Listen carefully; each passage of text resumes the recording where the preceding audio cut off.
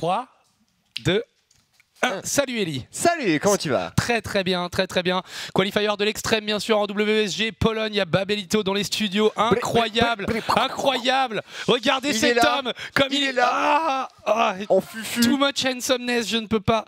Euh, on va passer du coup sur un nouveau match. Celui-ci est un match du deuxième round comme celui qu'on a vécu juste avant, Eli. Et ce coup-ci, c'est un des grands favoris de ce qualifier puisque c'est un des top 4, euh, un des gros, euh, un des gros énervés. J'ai nommé Elaser ici en euh, Zergue bleu pour la team True Esport, comme Gourou tout à l'heure. Sauf que vous allez le voir, logiquement il y aura plus de groupes hein, chez, euh, chez Elaser. Ah, et tu t'es toujours parmi hein, de non, cette, je, me euh, remettrai jamais de ça en fait. ça va bien se passer. C'est pas possible. On n'en doute pas. Et de l'autre côté de la carte, bien sûr, pour les terrains d'une jolie couleur ocre, le bon Ziggy Personne que je ne connais pas, y a-t-il des choses à savoir sur ce joueur, mon Funker Eh bien, j'aimerais pouvoir te dire qu'il y en a et que je les connais parce que, en fait, je ne sais absolument pas. Je n'ai jamais vu jouer ce euh, bon Ziggy. On regardera son compte, euh, voir si déjà s'il adore sur ce compte-là et euh, voir à quel, quel, niveau il se place. Si c'est le cas, genre peut-être checker son MMR. En tout cas, Ziggy, il a l'air de concevoir qu'il est peut-être l'underdog de cette manche puisqu'il va aller proxy, sa deuxième Rax. Et ça, ça fait plaisir hein, de voir un un joueur comme ça un petit peu en position de underdogs qui sort le petit le petit proxy contre le gros challenger à voir ce que ça va donner dans tous les cas. Et on est sur trois groupes de contrôle d'un côté, combien de l'autre Incroyable, incroyable. Bon là, il, a, triché hein, parce que tout ça. Enfin tu me diras, c'est des CV différents, donc euh, il, a, il a quelques groupes de contrôle, le bon, euh, le bon, euh, le bon Ziggy. Il va chercher du coup un triple Rax Reaper avec une position pour les deuxième et troisième, les deux Rax qui ont été proxy de manière assez comment dire, conservatrice. On va la poser très très loin alors qu'on a vu un des mecs hein, dans, le, disrespect le plus total, elle est Proxy Serax ici. Il va finir par être scouté quand même par l'Overlord de Elaser qui euh, dans un premier temps est allé scouter au centre, ici avec cet Overlord là, puis euh, voilà sur le côté. Donc Elaser bien inspiré qui va trouver ce proxy mon bon, euh, mon bon Ali. Ouais puis il va le trouver en temps et en heure hein, puisque les Reapers ne seront pas encore sortis donc normalement vu le niveau de jeu d'Elaser il a largement de quoi se préparer et accueillir joyeusement ces, euh, ces petits, euh, petits soubresauts là qui vont arriver. Après, bon, on va ramener les Rax bien entendu à la base tranquillement et la déception de Ziggy. Tu peux lâcher une petite larme effectivement. Bon le Reaper qui va quand même partir, on va aller prendre l'info. Est-ce qu'on a des choses intéressantes à se mettre sous la dent du côté de joueur Zerg Un Reaper euh, qui est parti de la B1 et le premier Reaper des deux Rax proxy. On va payer un terrier de cafard du côté de chez Laser. La prise de décision très très défensive et peut-être celle qui à terme est celle qui, euh, qui, te permet en fait de gérer la menace Reaper parce que les Roach avec un petit peu plus de range et un peu plus de HP vont être capables de tanker les Reapers et surtout quand ils sont transformés en ravageurs en fait euh, eh bien on a une portée similaire à celle des Reapers parce que la problématique en fait quand tu micro très bien tes Reapers parce que pour l'instant Ziggy fait plutôt pas mal c'est que tu peux éviter la majorité des hits de ton adversaire en utilisant les mines pour le repousser, lui faire perdre du temps, gratter du dégât. Le ravageur, c'est plus une unité qui va encaisser des dégâts mais qui elle-même va taper. Euh, et, ça c'est la différence, le ravageur qui prend un de plus de range et qui euh, voilà, se s'en sort très bien contre les Reapers. Et là on a quand même 4 Reapers, 5 maintenant cette fois-ci, pas content du tout là le bon Ziggy qui euh, prend de haut le Challenger hein, bien sûr pour ces WSG. On met la pression, première queen qui va tomber, derrière les Ergin qui vont enchaîner, derrière l'arrivée de Cafard pour calmer un peu leurs ardeurs. Et c'est un pack de Reaper qui est tout à fait payant. Ouais, tout à fait payant. 5 Reaper, bientôt 6-7. On a la, situation du snowball qu'on attendait ici, cette mine qui va connecter avec un roach et tu le remarqueras.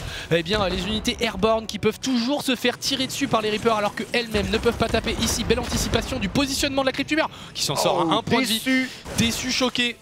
Effectivement, et on continue de rendre dingue ce pack de Cafard. Écoute la Queen qui s'en met, la Queen qui n'arrive pas à tanker les dégâts de ses qui enchaîne un deuxième frag sur ses reines et on, enchaîne encore bien sûr c'est Cafard qui tente de répondre. Je comprends pas qu'il essaye pas de faire au minimum au moins un ravageur ou deux. Alors il a un petit peu euh, des difficultés en termes d'économie là pour le moment. Voilà, il se fait abuser. Voilà, il a besoin de ses, euh, saccageurs, ses ravageurs pour gérer la menace. Est-ce qu'il peut le détruire avant qu'il sorte? Non, ce ne sera pas le cas, mais on va connecter avec les mines derrière. Les Reapers qui sont en train de faire un très très gros boulot. C'est dommage qu'il ait pas chopé cette, euh, cette tumeur du bas là. Ça aurait évité que celle-ci prenne position en haut et qu'il y ait trop de creep connectant les bases. Oh, là ça connecte bien, ravageur qui est isolé, on peut le choper peut-être. Ah, et ça jump around dans tous les sens. La bille, on recule. Alors j'ai une question Funka, quelle est la masse critique de Reaper pour euh, pouvoir venir à bout d'un ravageur Là en fait tu l'as Là vu. on l'a ou pas Clairement, euh, si le mec fait une erreur de positionnement et il y a une mine qui connecte, si tu commit un tout petit peu, c'est-à-dire tu approches l'intégralité de ton pack pour que tous les, les Reapers aient, euh, soient à portée du Ravageur, je dirais qu'à partir de 7-8, tu peux commencer à sortir un Ravageur tranquillement. Ça n'a pas énormément de points de vie, hein, un Ravageur, mine de rien, quand on regarde. Attention Oh là Oh, la là C'est beau ça, le sniping de la part de Laser qui euh, en Il a fait pris vient 5 Reapers, mec. Avec un shot, avec un shot, il vient de s'octroyer une bonbonne d'oxygène, du turfu là, puisque pour le coup il n'avait rien vraiment pour gérer ce pack de Reaper qui continue encore de faire du dégât. Ouais, et euh, on voit une petite emphase mise de la part de Ziggy sur les larves en fait. Une particularité des larves, c'est que euh, par défaut elles ont énormément d'armure, donc très difficile à tuer avec des attaques standards, mais la mine du Reaper ignore l'armure en fait, tout simplement. Et donc du coup, les larves n'ont que peu de points de vie et énormément d'armure, donc tombent contre les, euh, coups des, mines. Et il a fait, voilà, il a mis une belle emphase dans le fait de détruire des larves avant que, bah, pour couper en fait la production du joueur Zerg. C'est dur pour lui parce que la perte de ses 5 Reapers a mis un- quand même un gros gros coup dans la dans le- le- le, euh, l'impact offensif de, de son go alors qu'il s'en sortait très bien je trouve. Malgré tout, il n'est pas à plaindre. Il a positionné triple CC, il a déjà pris la gold. Par contre, dès qu'il aura perdu, c'est un peu la même chose que ce qu'on a vécu hier, si tu t'en rappelles. Au, euh, opening très agressif Ouais. avec un follow-up très gourmand. Et là, clairement, si ces Reapers viennent pour une raison X ou Y à mourir, et bah pas il est dans le caca parce qu'il n'y a rien qui va empêcher un laser de traverser la carte et de lui casser la gueule. Non, est-ce que c'est vrai qu'au niveau de l'impact de la gestion des, euh, bah, la gestion des, des bases en fait, avec cette pression Reaper, on reste sur deux racks, euh, deux hatch pardon, côté laser, côté Ouais. Ziggy. B2 qui est déjà sorti, qui est parti sur la gold comme tu le précisais, donc qui va clairement pouvoir faire le taf. On a même B3 qui est en place, donc pour le coup cet euh, investissement massif en termes de Reaper va être rentabilisé, enfin est déjà rentabilisé. Il va pouvoir transitionner sur un mid-game des plus pertinents. Alors par contre attention ici tout de même, le joueur Zerg qui a décidé de sortir, Ouais. et pour le coup Ziggy je ne sais pas s'il a une défense adéquate. Alors, je pense qu'en fait, là, les deux joueurs sont en train de se, voilà, de, de- de tourner l'un autour de l'autre. Ici, un Reaper gratuit qui a été euh, acquis euh, vraiment sans aucun dégât euh, du côté de l'armée Terran. Ici, cette mine qui va encore une fois connecter. Là, l'important pour Ziggy, c'est de gagner du temps. Essayer de choper un ravageur qui aurait perdu son temps sur le côté et de faire du dégât. Tu voulais mentionner. Et on a le clock qui vient d'être terminé. là. Ouais, Donc là, on enchaîne, c'est fromage sur fromage, là, cette fois-ci. La Alors- furtivité qui va arriver. Ouais. Et est-ce qu'on a de la détection? J'ai l'impression que non. Alors on est en train de payer les sports nécessaires à avoir de la détection, on va payer des bunkers également côté Terran parce qu'on se rend bien compte qu'ici l'arrivée de l'armée euh, Zerg et ne, peut pas être, euh, ne peut pas être empêchée en dépit de ces Reapers qui auront fait quand même un sacré travail depuis le début ici toutes les mines utilisées pour euh, faire sauter les Roach et les Ravageurs. La Banshee qui va arriver dans la main mais elle est bien attendue de Queen et une Sport. Ok, on va accuser un petit peu le coup ici en termes de dégâts. Mais si la micro est bonne côté Terran on peut ne pas la perdre et surtout choper quelques drones.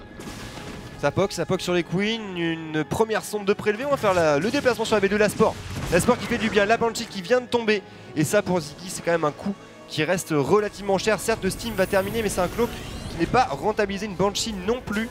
Et ça laisse du temps au joueur Zerg. Et on sait ce que ça peut donner dans ce genre de situation. Notamment avec une troisième hatchery qui est d'ores et déjà sortie. Laser n'a pas donné son dernier mot pour le moment. Alors pour l'instant, qui, euh, qui, qui- domine pas mal les débats, notamment grâce à une bonne macro et une défense plutôt propre de euh, l'agression Reaper. À aucun moment ça n'a dérapé alors qu'on n'était pas loin, hein. pas, mal de, situations. Ziggy qui est derrière en plus c'est un légèrement supply block dont prend un petit peu le, coup là au niveau, euh, au niveau macro. Par contre, il a payé une Shedrax d'un coup et il a surtout payé tous les, les add-ons en fait, euh, toutes les extensions. Et euh, le réacteur c'est très très long à produire et le fait que là toutes ces extensions se terminent au même moment va lui permettre d'exploser en fait au niveau euh, production d'ici quelques instants dès que les premiers cycles de production seront utilisés. Avec le Steam, avec le plus 1 d'attaque pour l'infanterie, avec le bouclier de combat en préparation, ça va piquer clairement. Côté laser, est-ce qu'on a en préparation quelque chose qui pourrait arriver à tenir ça? Pour l'in- pour l'instant, en tout cas, côté laser, on est obligé de euh, bah, gérer ce pressing à base de Banshee qui certes ne fait pas des dégâts massifs, même si on a 5 sondes de prélever d'ores et déjà. Mais voilà, on n'est pas en train de vraiment d'anticiper cette arrivée d'armée euh, qui va faire clairement le taf, le plus un d'infanterie qui est terminé. On a ressorti encore une quatrième Rax qui vient de se faire complètement cancel par ce pack de Reaper qui n'a pas de faire parler de lui. Ouais, on chope la quatrième match et ici peut-être le suicide dans l'économie pour essayer de choper quelques drones supplémentaires. C'est pas mal fait quand même, un Ziggy sur son agression depuis tout à l'heure qui fait mal cette Banshee qui est complètement dans le, euh, dans le blind spot de cette sport. Elle n'est pas visible et donc du coup elle s'en donne à cœur joie et tellement plus de collecteurs. Il a aussi scouté la technologie muta de son adversaire et honnêtement, le fameux Ziggy qu'on annonçait probablement en train de se faire déraper sur la gueule, je pense est dans une énorme position pour gagner cette partie. Il vient de prendre 21 drones, il a 65 SCV à 41 drones sur B3, une chier de bio en train de traverser la carte et un avantage d'upgrade. Regarde les upgrades Ah non, Le ça steam, le shield, le concussive, le cloak, le plus en attaque, le plus en défense. Quand du côté Zerg, on n'a rien, on n'a même pas le speedling. On est à poil complètement, c'est de l'unité euh, nature. On est sur du cafard vanilla ici et les tankivac commencent à se positionner. On notera tout de même les de Mutalisk hein, qui pourraient vraiment gêner euh, la gestion bien des armes de siège de la part du joueur Terran qui continue d'amasser sa bioball. Et voilà, tu l'avais dit, hein, les, euh, les réacteurs sur les racks qui font du bien. On produit du Marines et du Marauder massivement. Encore plus de Medivac.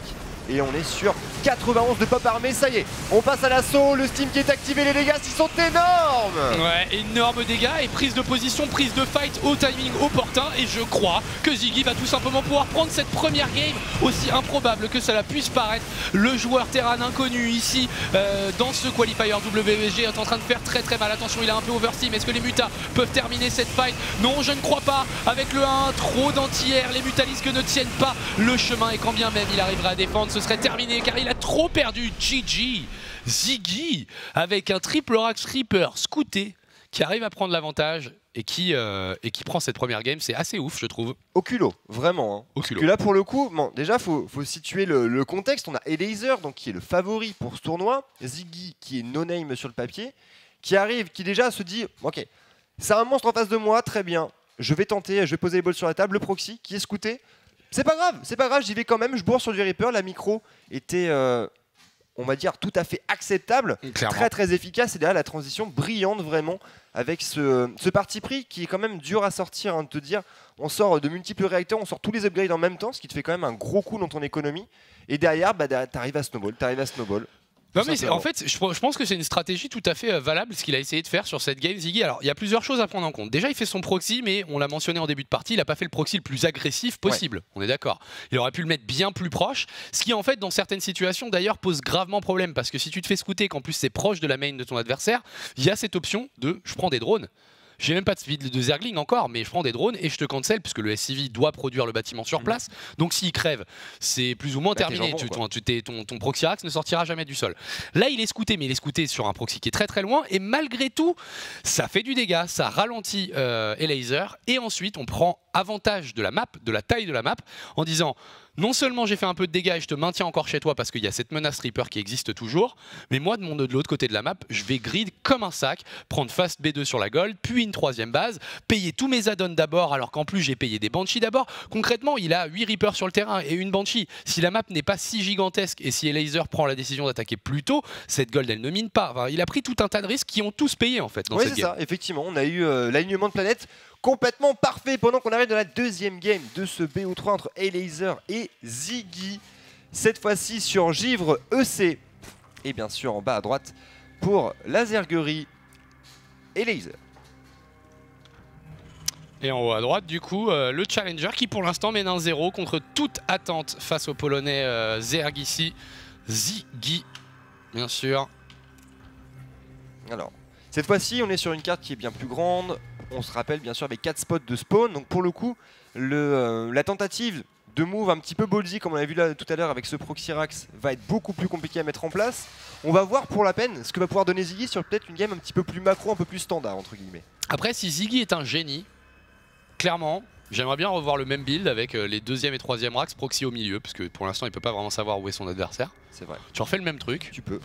et euh, tu pars du principe que euh, voilà, tu as 50% de chance quand même que ton adversaire soit vers le bas, donc limite, tu- peut-être tu peux même les faire. euh, ah, tu vois, il est, eh, tu vois qu'Elaser il flippe, hein, parce que ce drone là, mon gars, c'est pas un drone qui part scouter les positions, hein, C'est un drone qui part hein. scouter les, les, les proxys hein, au milieu de la carte. Et on va prendre. Donc comme quoi, tu vois, si Ziggy avait pris cette décision, d'ailleurs attends.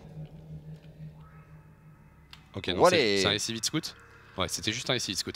Mais euh, voilà, comme quoi si Ziggy avait- m'avait écouté là sur ce coup-là, il serait fait spotter ses racks directement. Mais en même temps, on peut comprendre, hein, et Laser c'est un joueur qui a tendance à tilter facilement quand il se fait all-in et euh, quand il se fait euh, quand il se fait cheese.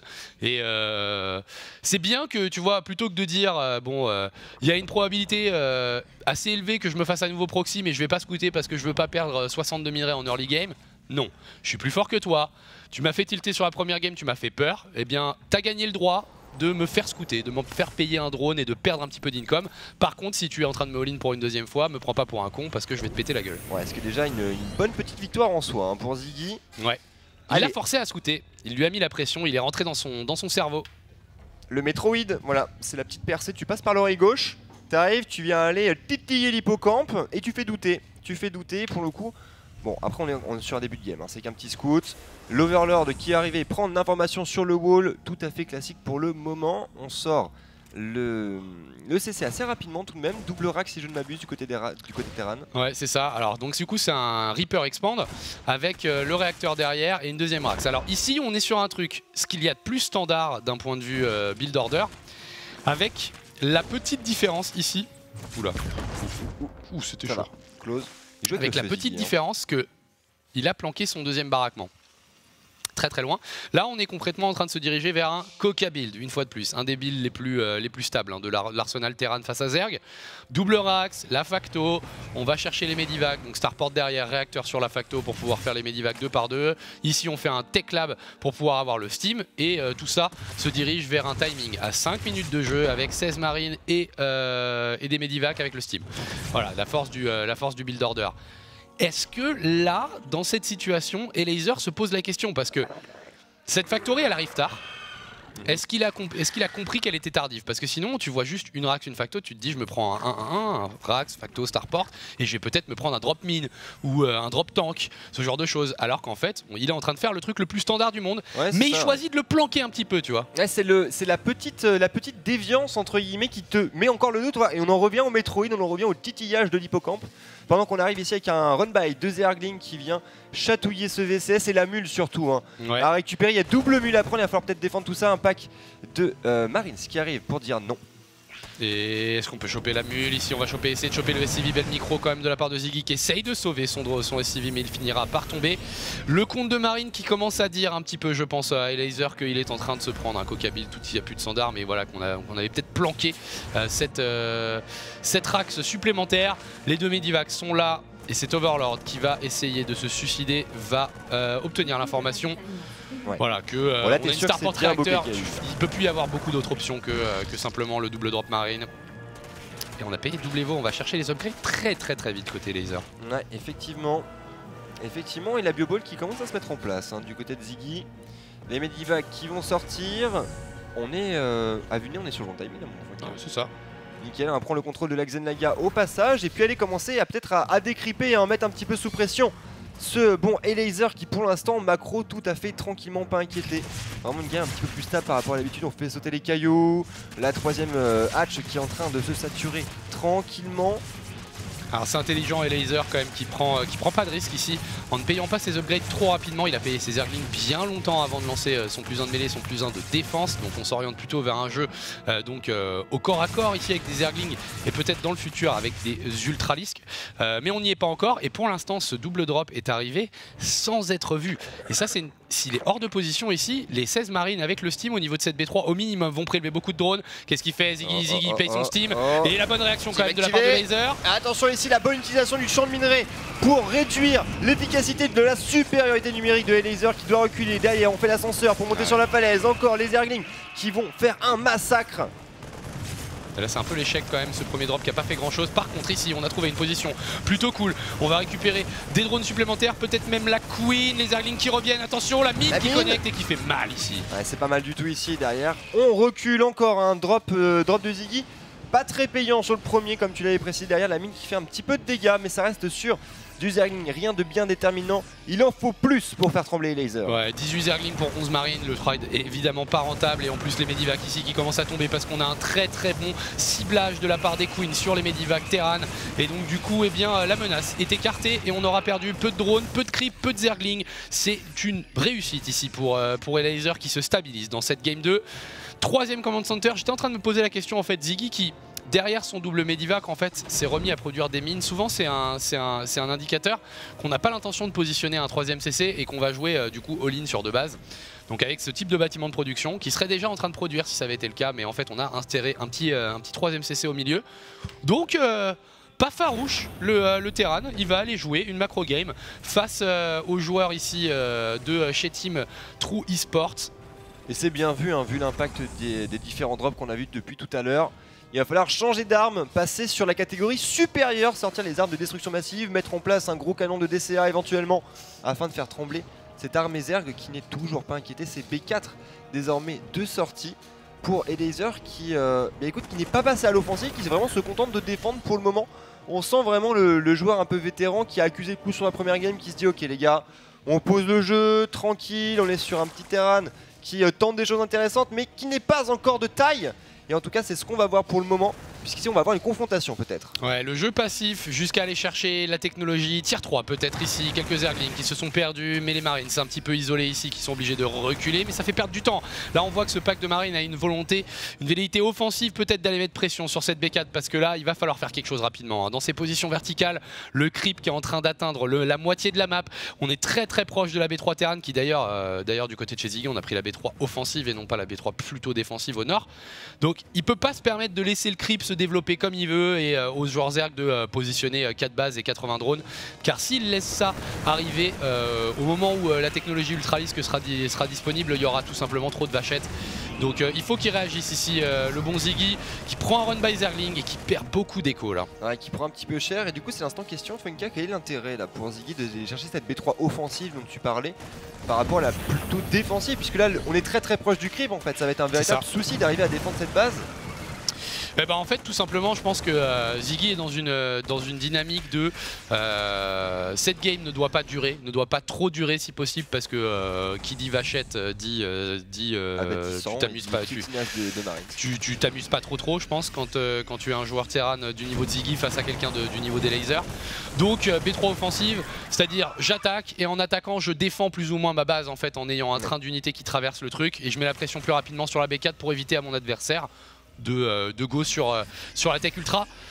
Par contre ma, voilà, ma façon de voir les choses ici c'est que j'ai peur que ce soit déjà un poil trop tard.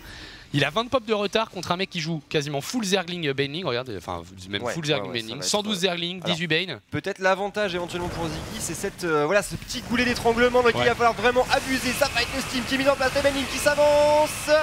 La bioball qui recule encore complètement acculée sous la falaise c'est une empalette de qualité là de la part du joueur Terran c'est même probablement l'heure de GG. Voilà, c'est le cas. La B3 a été brisée. Égalisation de Elaser.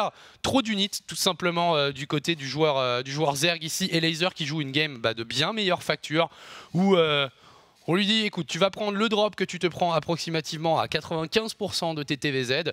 Euh, seulement en plus, c'est un mec qui a pas forcément le même level que ceux que tu joues d'habitude. Donc tu vas le défendre tranquille. Et ensuite, eh ben, euh, voilà, il a, en fait, je pense qu'il a tous les choix, tous les choix possibles du jeu. À ce moment-là, il peut changer, euh, changer son fusil d'épaule, partir sur Muta, continuer à jouer full Link Bane avec des upgrades comme il l'a fait. Et là, on l'a vu, il y avait aussi le, la fausse d'infestation pour le tier 3 et Ouais. les ultralisques derrière. Donc son plan de jeu, il est dirigé vers terminer la game en late game. Seulement là, Ziggy, euh, a pas besoin bah, euh, Ziggy donne trop d'unités au début, perd des SCV, enfin il y a tout un tas de, de- de facteurs qui font qu'il a encore moins d'unités que ce qu'il devrait avoir en temps normal. Donc euh, c'est compliqué. hein. Bah, à partir du moment où le où l'utilisation du cocabil sur le drop, sur les premiers drops n'a pas été rentable, on a senti un petit senti un petit euh, petit vent au niveau du signal interfécier bien entendu. Et on va enchaîner sur la troisième game. euh. Mais on va enchaîner après un tout Ah. petit break. On revient dans quelques instants avec la troisième game ici entre Elaser et Ziggy. Ne bougez pas. A tout de suite. Sbré, retour sur la troisième game bien sûr entre Ziggy et Elaser et oui vous n'avez pas rêvé. Troisième game dans un best of 3 puisque notre Terran a décidé tout simplement qu'il allait prendre la première game et mettre un gros taquet à Elaser le polonais Zerg ici quand même qui s'est bien repris sur la deuxième partie. Ouais, qui lui a dit euh, calme-toi petit. Certes, tu as brillé sur la game 1, mais on n'apprend pas au vieux singe à faire les grimaces. Puisque, avec, comme tu l'expliquais tout à l'heure, sur un plan de jeu late game qui gagne en mid game, bien écoute, j'ai envie de te dire, pour Elaser, le parti était complètement rempli avec, euh, avec la manière. Et on arrive dans cette troisième game sur base du roi Sejong. Ici Elaser donc qui a spawné en haut à gauche et qui une fois de plus, tu vois, prend toutes les, euh, toutes les précautions pour ne pas se faire Proxyrax. Il va, il va checker. Ouais. En même temps que son drone pour aller positionner sa deuxième base. Il est allé voir voilà, toutes les positions classiques, standards de Proxy, Axe, Rip- euh, Proxy Rax, pardon, Reaper ou même Marine hein, d'ailleurs, Euh, mais euh, bon, plus, euh, plus vraisemblablement Reaper. Voilà, il les check toutes, c'est bon, ok, je suis safe, pas de problème. Et bien maintenant, il est l'heure de gagner cette partie. C'est le genre de, de feeling très, très très bon, je pense, quand tu es le joueur dominant, d'être de- de- d'être capable de prendre ses précautions et de dire ok, je peux jouer cette Ça game va. à donf, je n'ai plus vraiment de risque devant moi. C'est Big up à toi pour euh, ta fidélité. J'ai cru voir 19 mois, ce qui commence à en 19 faire mois, quand même un, un- un- un sacré bout de temps. Il est, euh, il est de combien le record du resub le plus long là, que vous avez vu pour Ah bah là, on, est, on a 19 les, premiers 24 mois là. Premier 24 mois Ah ouais. Ouais. Ah oui, les premiers dedans. Donc il y en a vraiment, on est sur du, euh, du dinosaure du sub. Et ça fait plaisir. Ça fait plaisir bien sûr de voir des, euh, des entités comme ça toujours présentes dans la potalité et dans la poutrance. Et justement, si vous êtes sub, n'oubliez pas que vous pouvez venir vous taper dessus gentiment dans l'OG Sub League. Il vous reste 4 jours. La première émission, ce sera samedi. Et euh, il vous reste du temps si vous avez une team avec votre potal et que vous êtes prêt à jouer samedi à 16h pour euh, du coup ces, euh, cette OG Sub League en 2v2. Eh bien, n'hésitez pas à vous inscrire. L'adresse email, c'est ogsubligue.gmail.com. Et alors du coup, est-ce que tu vas le faire toi? Parce qu'on en parlait hier. Euh, c'est pas encore décidé. C'est pas encore décidé. Et de très toute bien. manière, je, le garde- je garderai ma participation masquée jusqu'au bout. Ah, le coquin, pendant qu'on a un Reaper ici aussi qui vient jouer les fanfarons au niveau de cette base naturelle. Encore la Queen qui décide de prendre son envol. Ça ne passera pas. Malheureusement, ce Reaper qui doit se raviser. Alors, ce que je trouve énorme, c'est qu'au final, il n'a pas tué de drone, ce qui d'ailleurs, dans, un, dans, une certaine mesure, ne doit jamais arriver. Enfin, un Reaper est pas vraiment censé tuer un drone, à part s'il y a énorme erreur d'exécution. Mais là, l'erreur d'exécution de, la part des lasers, ça lui a pas fait perdre un drone. Par contre, je sais pas si t'as vu, tous ces drones se sont stackés. Il en avait 6 sur son gaz. À un moment donné, il y a ces drones qu'on fait tac, tac, tac, qui sont passés au nord. Résultat, là, c'est une perte sèche quasiment de, je dirais. Peut-être 200, 250 de minerais simplement par ces misclics Ouais. euh, qui lui ont fait perdre quasiment une base saturée dans son intégralité pendant une petite dizaine de secondes. Donc petite erreur, attention, puisque euh, on le rappelle, BO3, si Ziggy prend cette game pour euh, sur un hasard complètement euh, improbable, mais si Ziggy prend cette game, il irait foutre le bon Laser en loser bracket. Ce qui serait euh, assez savoureux, je te le cache pas, la Oui. Funka. J'aime les upsets, j'aime les choses qui ne se passent pas comme prévu. Et pour la peine, bon, alors, troisième, euh, troisième hatch qui est quand même sorti là de la part Laser, donc ça va, pas de souci, on développe son style de jeu. J'ai envie de te dire, un style de jeu quand même assez lent, hein, un petit peu comme la game d'avant tout simplement. C'est ça, on va jouer défensif. Mais rappelle-toi, game d'avant, on Ouais. avait une composition assez chargée de Ling et de Bane. Tout à fait. Et du coup, on va jouer. là. Oh là là Oh lui est lion Imre Il est où Imre Imre, viens t'exciter sur cette game d'un Polonais inconnu. Quand on nous appelle le roux Il y a des Hélions. Ah oui, mais il faut pas qu'il monte Ah sa gueule, Imre. Il veut garder ça masqué pour son live vendredi. Ouais. C'est quand même un peu dommage d'ailleurs qu'il prenne le live que vendredi. Il va jouer Hélion into Elbat. Très bien, ce qui est très très fort contre les Zerglings. Donc euh, sans road, enfin tu me diras, il a posé un road foreign parce qu'il a senti le coup venir sur cette game. Mais par contre, il joue Cyclone derrière. Et le problème pour lui, c'est que ça va être du. Donc là, c'est une strat vraiment pas du tout standard. Ouais, Mais alors ouais, vraiment absolument pas standard. Le mec va jouer Hélion Cyclone avec l'upgrade. Très très early pour le coup et voilà on passe à l'agression tout de suite sur cette hatch Le pack de Queen qui n'est pas assez rapide et les flamèches qui s'en vont une fois de plus on kite On va pouvoir aller faire un tour peut-être sur la B2 Est-ce Ouais on y va, on y va C'est vrai, hein. vrai qu'en plus, il est complètement à poil là, le bon Elaser. Il a 7 Zerglings sur le champ de bataille, 10 Zerglings désormais. Allez, Ici, le positionnement qui est pas trop mal pour les Lions. Est-ce qu'on peut faire une petite le brochette barbecue Non. Non, Non. non, Non. Bon, bah, l'idée était belle hein. L'exécution un petit peu moins pour le coup par contre là on arrive avec les renforts, la cavalerie qui sonne la charge avec les cyclones également qui vont se joindre à la fête. Et ça va jouer euh, Mecha. c'est une belle barre ça va être un joli feu de joie là, cette, cette, cette prochaine fight. Clairement, beaucoup d'élions disponibles euh, avec euh, non pas la flamme bleue, mais ici euh, l'aide euh, des cyclones avec l'accélérateur de champ magnétique. Attention, ces cyclones qui ne doivent pas se retrouver isolés parce que les Zerglings sont une très très bonne unité pour se débarrasser des cyclones. Cyclones en fait con- concrètement ont un rôle, c'est de se débarrasser, pourquoi pas des Overlords, mais aussi des Roach, tandis que les Lions gèrent les Zerglings, donc euh, une micro qui devra être plutôt clean pour le joueur Terran pour sous peine de se faire défoncer. Ici, on a réouvert le wall, je ne sais pas pourquoi en fait. L'erreur. Alors ça, ça coûte cher. Je Attention comprends pas ici. pourquoi il a fait ça. On sort, en fait il a voulu sauver son Hélion Ouais. et il a pas réussi à micro-gérer suffisamment bien et pour le coup c'est un run by des Zerglings qui se fait un festin là On prélève les Lions et les Cyclones euh, par paquet de 3 derrière quelques V16 qui sont tombés également et surtout en plus on scoute l'intégralité de la base du C'est genre. ça. Et on scoute du coup cette stratégie mécanique qui est en train d'arriver de la part de Ziggy, donc absolument pas commune ici la strat du euh, joueur Terran. Euh, cette Queen qui est en train d'encaisser les dégâts euh, du coup des cyclones en, ciblage. L'Overlord qui tombe également. Les populations sont assez similaires, mais attention quand même à un Ziggy qui tarde à prendre une B3 et à continuer de faire des SCV là. Commence à accuser le coup d'un point de vue économique avec ses 41 SCV contre les 56 drones de, des lasers alors, question euh, qui peut paraître peut-être un petit peu candide, mais pour le coup, un build comme ça, on est d'accord quand late, ça sent le fromage. Enfin, ça sent extrêmement mauvais. Pour euh, Ziggy ou pour, euh, Ziggy Ou le, le Cyclone, ça tient, ça tient la route. Bah, à terme, en fait, il peut switch, il peut faire des tanks, il peut, faire, peut faire des Thor, il peut faire des Vikings, enfin, il peut jouer une véritable game mécanique, en fait. Là, pour l'instant, c'est. En fait, le truc qui est cool avec Elion Cyclone, et c'est ce qui manquait au mecha, en fait, depuis le début de, de StarCraft 2, c'est que c'est une composition mobile. Donc tu peux prendre des fights face à des roads qui sont pas forcément les unités les plus lentes du jeu, tu vois, et les kiter, leur faire du dégât comme ça. Et alors là, big up à la micro quand même de, euh, des lasers. Il sait qu'il va se retrouver à se faire cibler au maximum. Et donc du coup, il a recherché euh, l'enfouissement. Et à chaque fois qu'il a un roach qui se fait cibler, il l'enfouit sous le sol et du coup le ciblage eh bien s'arrête. Attention par contre il le scan maintenant, on essaie de chercher les tumeurs, il y a un gros pack de roach. Et encore la bonne micro de hein, qui ne se fait pas attraper. On poke, on poke. Alors certes, pas le temps de dégâts posés, mais il a eu le temps de poser sa B3 cette fois-ci. Ouais, il est temps de la poser. Elle est en train de se positionner ici dans le background. Et la bonne micro ici, à l'instar d'un joueur Protoss qui ferait monter ses unités dans son prisme, et eh bien euh, du côté de, des, des, ergs, on les enfouit sous le sol, effectivement. Euh, et, c'est vraiment pas mal fait parce que les cyclones n'ont vraiment pas fait beaucoup de dégâts depuis le début. Pas tant que ça, par contre, les lions ils continuent. Hein. Encore, encore, encore, on enfouit, ça ressort les billes qui atterriront dans les choux mais qui ont calmé les ardeurs de ce pack mecha. Et il joue ma cyclone. Il joue ma cyclone, il nous fait une innovation là. Le, euh, bon, euh, le bon Ziggy s'inspire du joueur de chez SK Telecom qui nous avait montré que euh, le Cyclone était une, unité du turfu.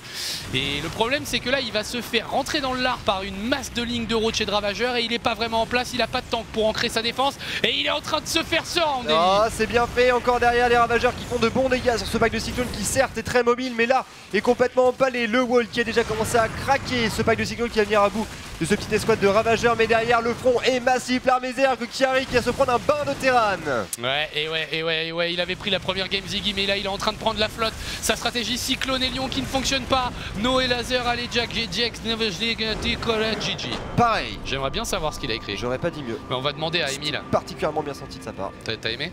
Ouais, franchement ça m'a fait plaisir et Laser du coup qui va pouvoir avancer. GG Oh, winner bracket GG GG GG GG Alors Emile T'as remarqué que quand je... hein voilà. Ouais. Emile. Sacré Emile. What did he say? Donc victoire de Elaser, on était, euh, on l'attendait. Ça a été un peu plus compliqué que prévu puisqu'on a droppé une game sur l'hôtel de, euh, de la dégueulasserie du fromage. Tout à fait. Avec un triple Rax Reaper, mais le follow-up était très très bien. Enfin, il a joué une bonne game et, euh, ah, il joue bien, je trouve ça, je trouve ça, je trouve ça cool qu'il soit capable d'aller gratter une game au bon Elaser. Du côté de chez Laser, ça veut aussi dire T'as scouté un triple Rax Reaper et tu prends trop de dégâts et tu te laisses emmerder par un joueur moins fort que toi. Donc il faut peut-être régler ce truc-là. Euh, Moi je suis Marine Lord, je vois ça, je me dis bon bah. Ok. Moi je le fais mieux le triple Rax Reaper. J'aurais pas pris cette build corrosive qui tue 5, 5 Reapers et, euh, et je l'aurais tué avec. Tu vois C'est vrai. Donc. Vrai. Euh, et c'est ce qui fait la différence entre un winner bracket et un loser bracket pour le coup. Hein. C'est une build corrosive qui coûte cher. Un et eh génie. Mais un V, n'est-ce pas? Alors, on a progressé sur le deuxième round ici. Donc, on vient de jouer le Ziggy Elaser qui est en bas avec Elaser, donc du coup, qui va passer au round suivant. Euh, donc, on ne le verra pas plus jouer aujourd'hui puisque euh, c'est le dernier round dans le winner qu'on fait aujourd'hui.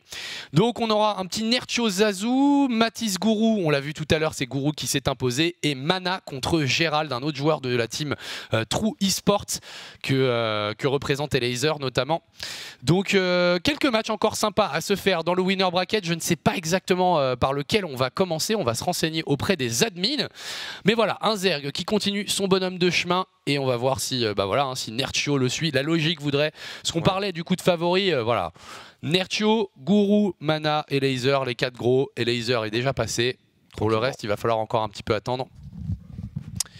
voilà, à mentionner du coup deux qualifiés. Hein, dans ce qualifier, donc le vainqueur du winner bracket et le vainqueur du loser bracket. Les, deux, euh, les deux finalistes gagnants, en fait, final winner, final loser, qui passent en finale européenne euh, pour rejoindre les Français, les mecs qui se sont qualifiés dans le qualifier Europe centrale, le qualifier allemand, enfin bref, il y, en a- y en a tout un tas. Ah, Il y a un sacré paquet, hein. vous pouvez aller voir la fiche euh, Liquipédia. Ouais, Sur le tournoi, elle est. euh, ouais, il y a un de- gros, gros nombre. deux, jours de contenu à, à agglomérer, hein. vraiment, C'est ça. très, très bien. Et les finales, euh, vraiment, les finales européennes qui vont avoir vraiment de la gueule parce qu'on va avoir, euh, bah, on va voir tout le top européen, comme les WCS de 2012, se foutre sur la gueule avec tous les champions et les héros nationaux. Et ça, ça fait bien plaisir. Du coup, on se renseigne pendant ce temps-là, nous, sur la prochaine game qu'on va faire. Et euh, en attendant, on fait un tout petit break.